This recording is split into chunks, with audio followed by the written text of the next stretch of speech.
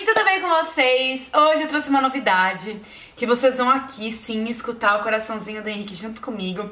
Vocês não estão próximas de mim, vocês não vão no meu médico, não vão ver ultrassom, mas eu queria tanto trazer é, essa emoção pra vocês, assim como foi uma emoção escutar o coraçãozinho dele. A minha ginecologista, ela me emprestou esse Angel Sounds, que é um monitor, fetal. O que, que significa? Você consegue. Ele é tipo de um. Ele é um ultrassomzinho que você consegue escutar o coraçãozinho do bebê a partir de 12 semanas. É super fácil de mexer, aqui ele tem um fiozinho que você conecta o fone de ouvido e aqui tem uma entrada para USB para você, caso queira gravar isso é o, o batimento dele, né, para poder escutar depois no computador, enviar para o familiar, você consegue conectar um cabo USB e aqui tem a parte dele de ultrassom.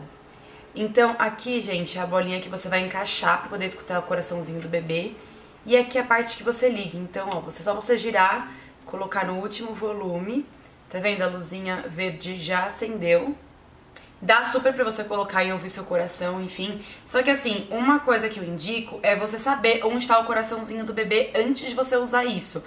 Quando eu, como eu fui na minha médica, ela já tinha ultrassom lá, um ultrassom mais potente para ouvir o coraçãozinho, ela já sabia onde que tava. Então foi super mais fácil de, na hora de eu estar em casa, eu começar a monitorar e ver. A primeira vez que eu fui tentar, nossa, não conseguiu nem eu nem meu marido. A segunda vez eu consegui, tipo, em 5 segundos. A terceira em 10 segundos. A outra vez eu não consegui. A outra foi rápido, sabe? Então, varia também.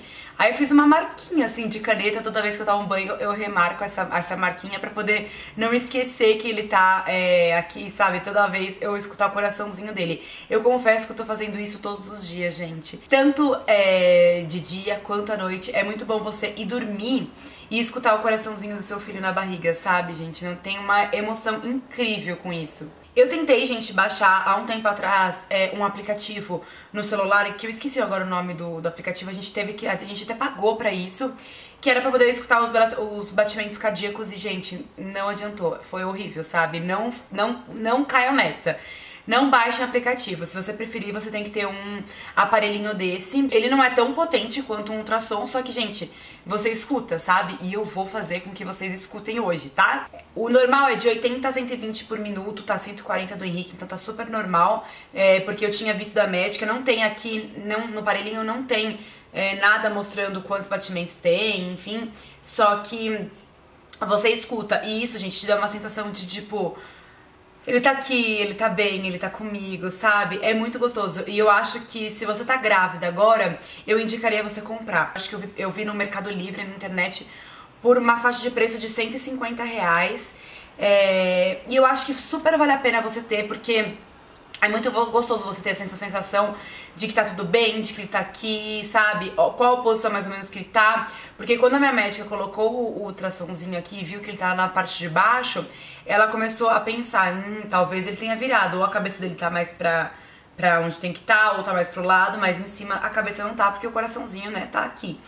Só que as mamães de plantão que tem isso, que vai comprar ou que, enfim, pegaram emprestado alguma coisa e colocarem na barriga inteira, ficarem 5 horas tentando achar o coraçãozinho e não acharem, não se desesperem. Porque não é fácil assim, gente. Foi o que eu falei pra vocês, tem que ser o lugar muito específico para ele poder escutar. É, por exemplo, quando você coloca no, nosso, no seu coração, no começo eu achei, assim, você pode achar, mas você pode, ai meu Deus, cadê, entendeu? Mas fique tranquila que seu bebê tá bem, tá? É, não se desesperem caso você não acha, porque é difícil mesmo de achar. Aí as mães ficam desesperadas, né? Tipo, nossa, o coraçãozinho do meu bebê tá, tipo, Uh, tu, tu, tu, tu, tu, Gente, é normal o coração do bebê tá mais acelerado. Porque quando menor o bebê, mais rapidamente o coraçãozinho dele bate. para levar, gente, oxigênio e sangue para todas as partes do corpo do bebê, entendeu?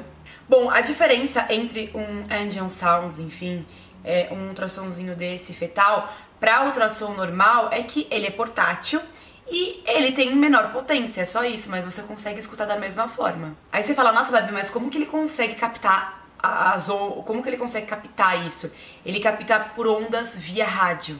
Bom, é, eu vou dar uma dica então. É, na verdade, quem pediu pra fazer esse vídeo, gente, foi uma leitora no Snapchat que ela tinha curiosidade. Ela falou que é muito raro encontrar é, assuntos sobre monitores fetais na internet, no YouTube, e ela falou assim, ai Babi, eu quero saber como que funciona, eu quero ver como que faz, isso aqui. Então mostra pra gente. Então eu trouxe esse vídeo pra vocês. Mas, gente, basicamente eu vou dar uma dica. Quando você for é, aproximar, você tem que estar tá relaxada e deita, tá? Não, não, não fique com a perna pra cima, enfim, deite com o seu corpo tranquilo. E aí você vai começando a... É, é, passar em volta e vendo onde o coraçãozinho tá. Se você sabe onde que tá, fica mais fácil. Agora, se você não sabe, é bem complicado.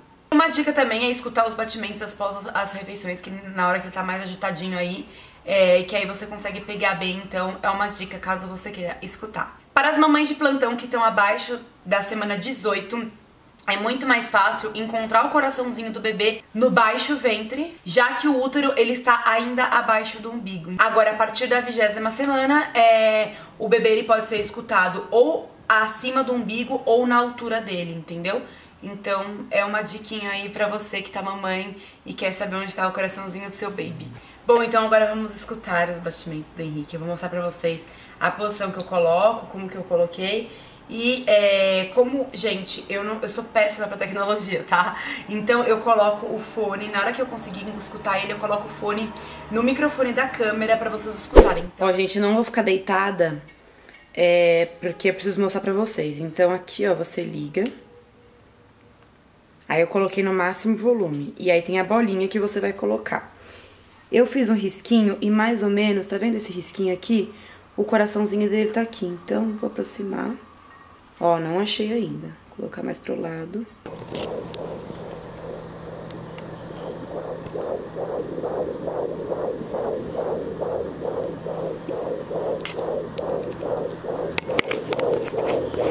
Gente, falar isso não é uma emoção e tanta você escutar o coraçãozinho do seu baby.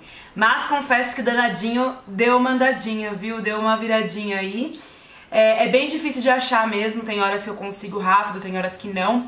Mas eu queria compartilhar esse momento com vocês, já que eu tô compartilhando tudo do Henrique, toda essa minha trajetória de gravidez. Eu espero muito que vocês tenham gostado desse vídeo.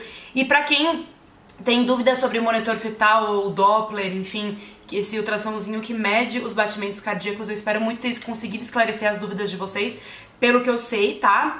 É, e é isso, então assim, se você é mamãe agora, se você é mamãe, eu super te aconselho a comprar, porque é muito gostoso você ficar ouvindo os batimentos cardíacos do bebê, tá bom? Então é isso, eu espero muito que vocês tenham gostado, se você gostou já deixa seu like pra mim. Se inscreva no canal se você não é inscrita pra acompanhar todos os vídeos que eu posto, e é isso.